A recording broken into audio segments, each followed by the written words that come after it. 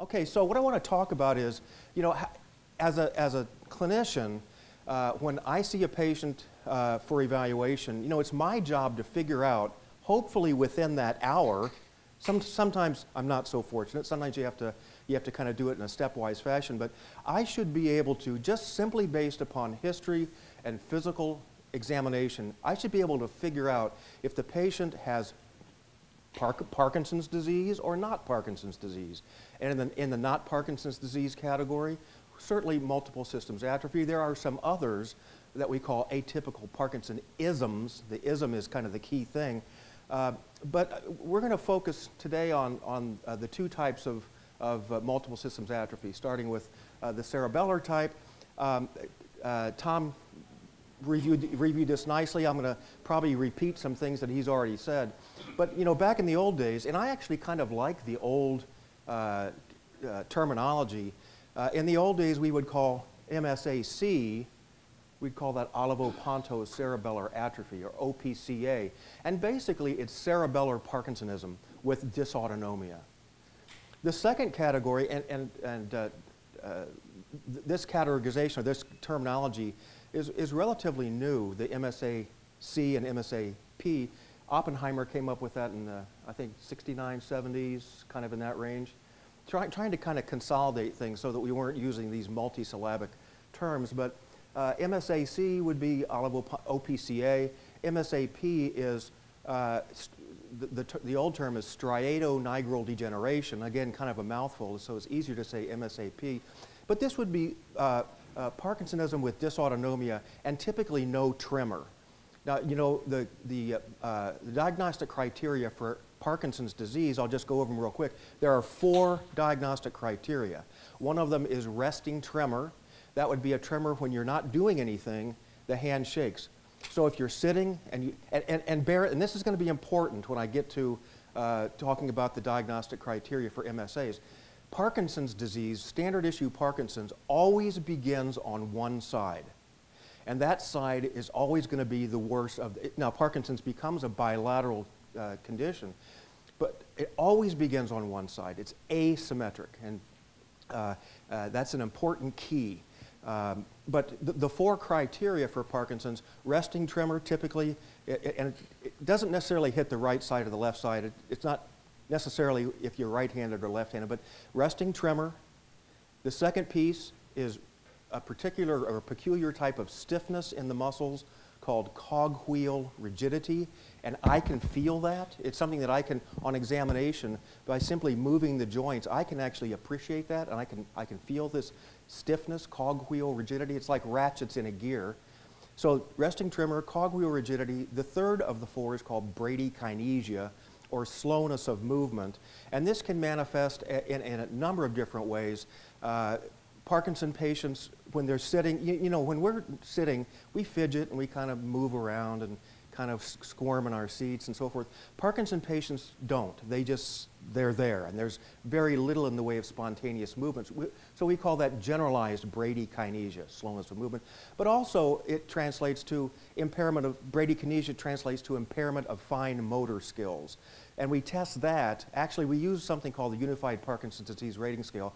And there are several items testing for fine motor. And it's quite, I mean, it's so low tech, it's so old school, but simply finger tapping, hand opening, closing, pronation, supination, repetitive heel and toe tapping. And a Parkinson patient, instead of doing this, it gets smaller, slower, and eventually it'll break down and stop larger hand opening, closing, it just gets more, it gets more jittery almost. And then the same with, with these other movements. So we got resting tremor, cogwheel rigidity, bradykinesia, and the fourth component is trouble with balance and walking or shuffling. And you can sort of remember the main features of Parkinson's disease as shaky, stiff, slow, and shuffly. All the, the four S's. Well, we're going to see how these atypical Parkinsonian conditions, the uh, uh, multiple systems atrophies, differ.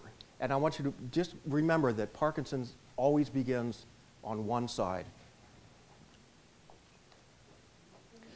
Okay, when we talk about, uh, uh talk about MSA-C, the cerebellar uh, form, And Dr. Chelimsky talked about uh, the, the cerebellum as kind of matching your environment to your movements. So that when you reach for something, for example, the cerebellum is telling your arm and hand where to start and stop.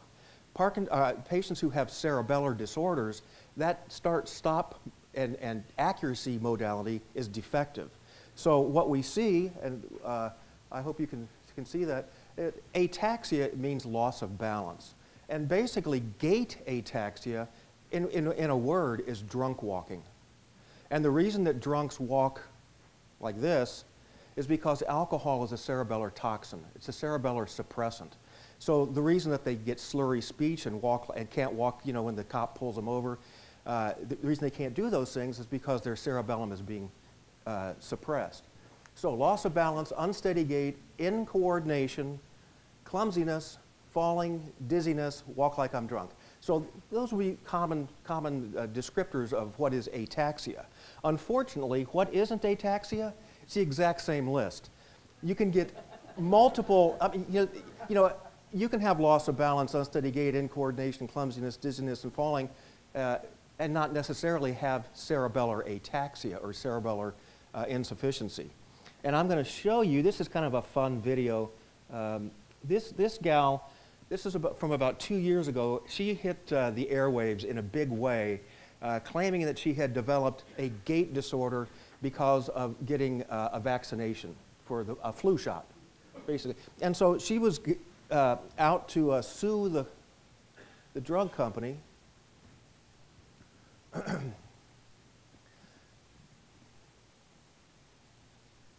And, the, and the media bought into this 100%. Twisting, jerky movements. But she walks backwards normally. Doctors say she has a rare one in a million neurological disorder that was triggered 10 days after she got a seasonal flu shot. Okay, so I'm going to cut to the chase here. Uh, this is fake. This is, this is entirely fake.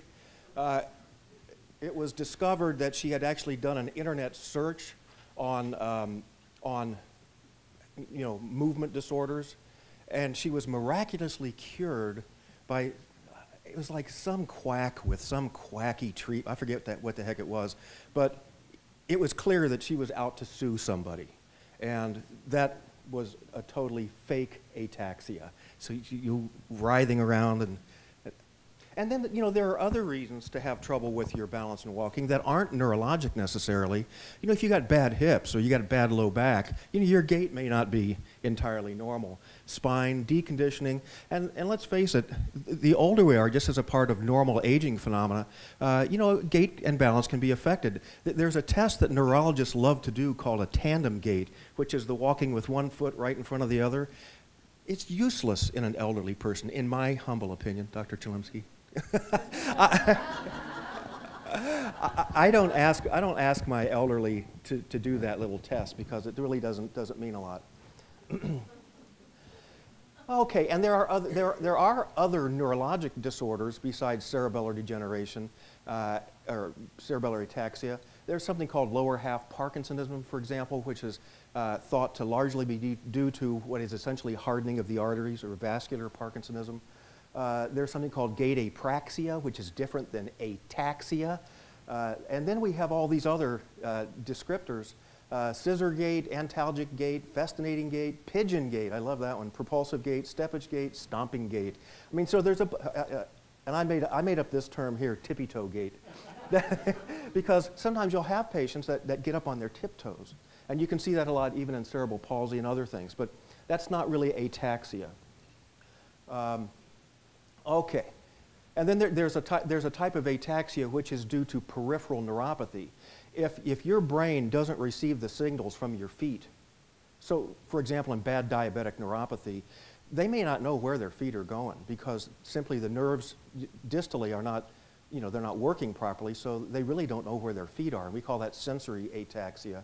And there are other things, vitamin B12 deficiency, uh, other things. If, if you're low on vitamin E, so my job as a neurologist when the patient comes in is I need to, to make sure that everything that can be looked at has been looked at. There are treatable forms of ataxia. and there are untreatable forms. And unfortunately, we don't have any medications to help cerebellar disorders, really. Uh, you know, if we could come up with something, we'd be, be billionaires. Vestibulopathy refers to inner ear. So if you have a bad inner ear, you're going to be unsteady. So, so once again, uh, the clinical features of cerebellar, since MSA-C, the C is cerebellar, so what are the clinical features of, of, of that? I, I, we talked about the, the ataxia. Uh, broad base means that it, to compensate for being unsteady, individuals with ataxia oftentimes will walk with their feet kind of wider apart, and we call that a broad base. It's a compensatory strategy. It makes perfect sense. In addition, there's something called dysmetria. Uh, this would be a type of, of uh, incoordination that in the office we test it by, I have a patient hold their hands out front, and then they touch, touch their nose, bring it out, touch my finger. And I, and I, may move my finger to different spots. And what happens with dysmetria is instead of a smooth back and forth, you get, you get this. And typically it's an, and refer to it as an endpoint or intention tremor. Okay, so the way dysmetria manifests itself uh, in everyday life is eating and drinking. I mean, so if you got somebody who does this, or trying to get the spoon to the mouth and you get this going, then obviously that's a big problem. And that's a cerebellar disorder it, we use a term, it's a terrible term, dysdiadochokinesis. God only knows why they came up with that word, but, but basically it's alternating movements that we can test like this, okay, do this, do this, do this. Patients with cerebellar disorders, it becomes incoordinated, kind of slappy, kind of, it's inaccurate. It's sloppy. It's kind of a sloppy, instead of a crisp, you know, this kind of a thing.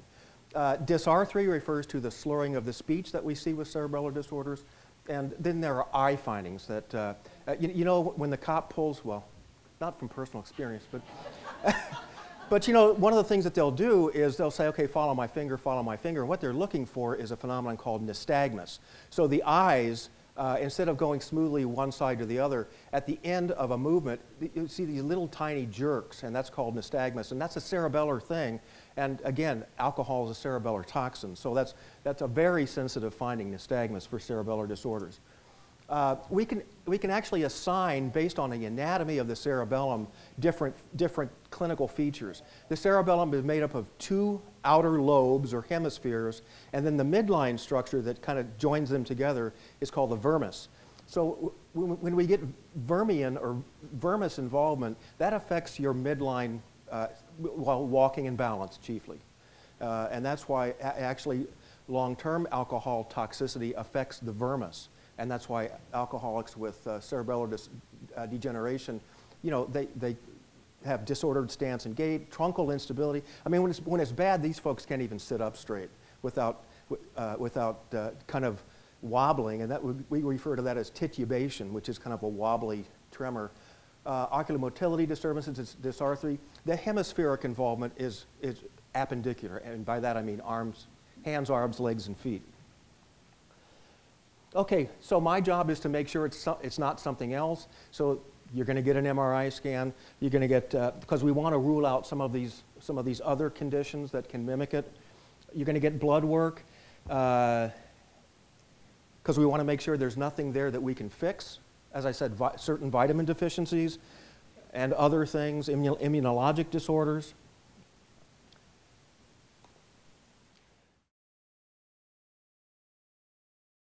What I want you to look at is what I'm doing here is sort of the analogous thing to finger to nose, and I call it toe to finger. See how her foot wiggles as she gets, it's just not accurate. It's not a smooth boom, boom, boom.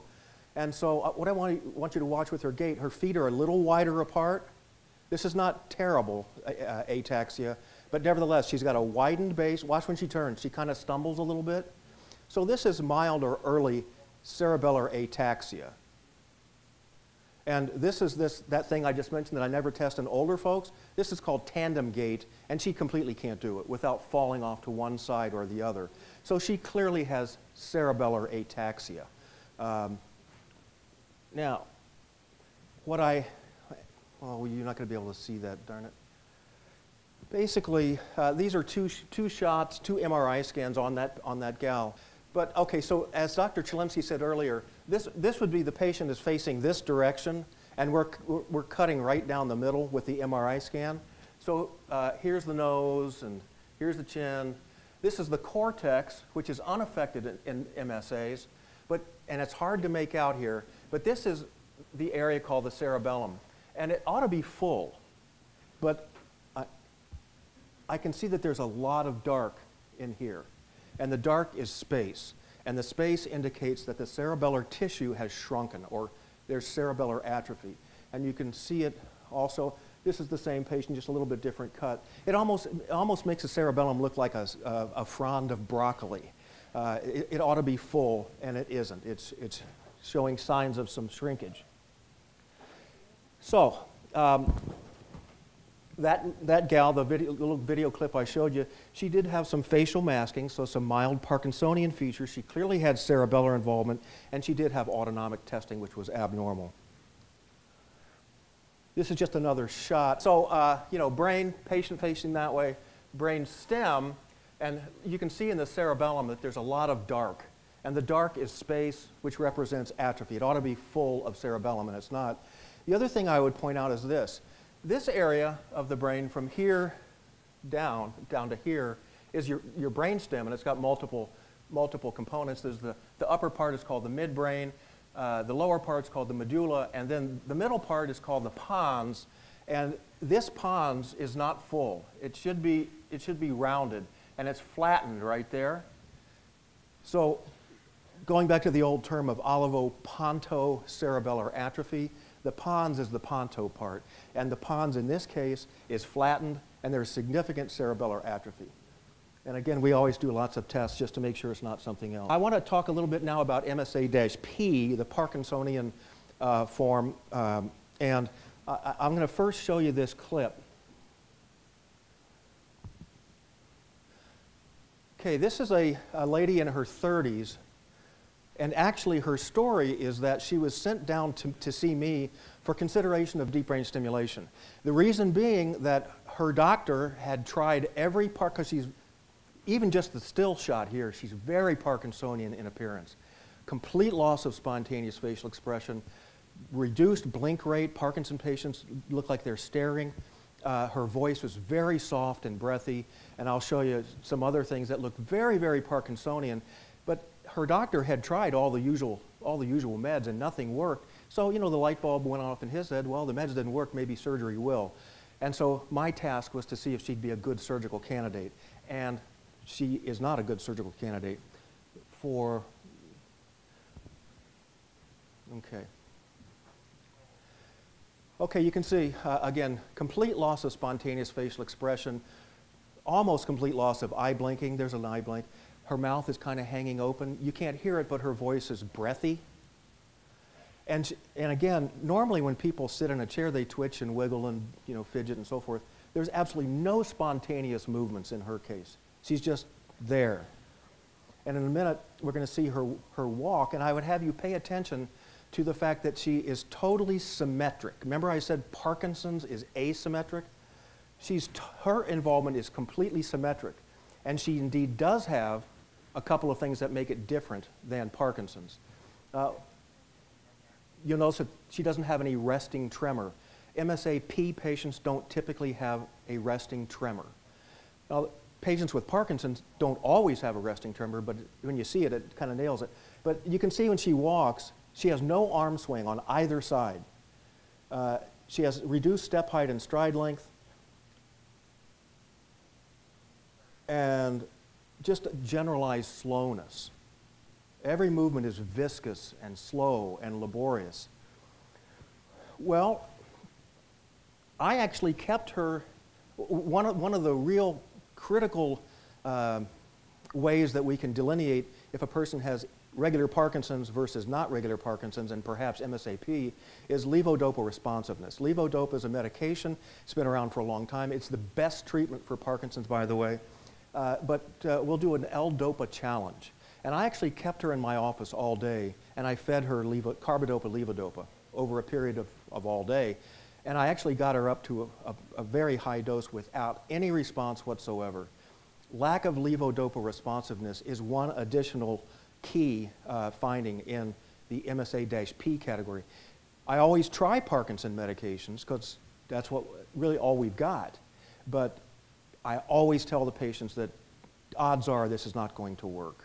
You know, just kind of prepare them. But, uh, you know, you don't want to completely take away, because on occasion you'll have somebody who does get a little bit of a response. It's not usual, though. And in her case, uh, high-dose levodopa did absolutely nothing. So she, was not, she would not be a candidate for deep brain stimulation. So the clinical features, marked loss of spontaneous facial expression, vocal hypophonia, which means softness or breathiness, uh, generalized rigidity and bradykinesia, stiffness and slowness of movement, no tremor, loss of arm swing, symmetric, slow shuffling gait, uh, symmetric onset, note that Parkinson's is always asymmetric, poor response to levodopa and other dopaminergics, meaning other dopamine, we have other dopamine boosting medications. And the dysautonomia in MSA-P is much more prominent than it is in Parkinson's. Parkinson's patients do get dis some dysautonomia, but it's typically not as early or as severe as patients with the multiple systems atrophy spectrum. there is a very specific pathology to MSA as there is in Parkinson's, and they're completely different. In Parkinson's disease, when you look at a Parkinson brain under the microscope, you see little tiny microscopic pink round, round things or spheres that we call Lewy bodies, L-E-W-Y. Lewy bodies are the hallmark of Parkinson's disease and of a couple of other things. Lewy bodies are not seen in MSA. What we see are GCIs, or glial cytoplasmic inclusions. Uh, glial cytoplasmic inclusions look like this. And the arrows point to, it's those brownish spots. Those brown spots are made up of an abnormal protein called alpha-synuclein. Alpha-synuclein, we all have, actually. It's a normal protein in our brain. It's a norm However, in these disorders, it's misfolded. It's not in the right configuration. And in, in Parkinson's disease, which is also an alpha-synuclein problem, or we say alpha-synucleinopathy, Parkinson's is an alpha-synucleinopathy. MSA is an alpha-synucleinopathy. In Parkinson's, the, the synuclein is in the Lewy bodies. In MSA, the alpha-synucleinopathy is in the glial cells, or as I said, glial cytoplasmic inclusions. And one of the interesting things that's, that's, I think, relatively recent on the horizon is the fact that they have been able to take Lewy bodies, for example, which are full of alpha-synuclein, inject it into a normal, healthy animal, and the Lewy bodies appear to have the capability of convincing normal neighborhood, neighboring cells to develop abnormalities. So it raises the possibility, are, the, are these disorders, these, these synuclein disorders, in any way kind of like infectious? Are these infectious processes? Because if you take that alpha-synuclein laden cell and put it into a normal brain, the normal brain starts to develop alpha-synucleinopathy. So, and that shouldn't be because there's no DNA in alpha-synuclein. There's no RNA. These are the messengers, you know, for our genetic code. I mean, normally if you get infected, it's because of the DNA and the RNA contained in the virus or the bacterium or what have you. These disorders do not have any DNA or RNA in them. They're just abnormal proteins but they appear to have the capability of talking neighborhood proteins into being abnormal. And there is a disorder uh, which we know uh, a, a, fair amount about that causes a very similar phenomenon called Creutzfeldt-Jakob disease. This is a deadly disorder. It's similar to chronic wasting disease uh, of uh, deer, different, different encephalopathies, where you have a protein actually acting like an infectious agent. In Creutzfeldt-Jakob disease is called prion, P-R-I-O-N disease. It's an abnormal protein. Again, uh, these are very, very, I think, fascinating and relatively new developments on the horizon. So, uh, you know, stay tuned for that. And I think that's all I got. Is that good? good. Thank you.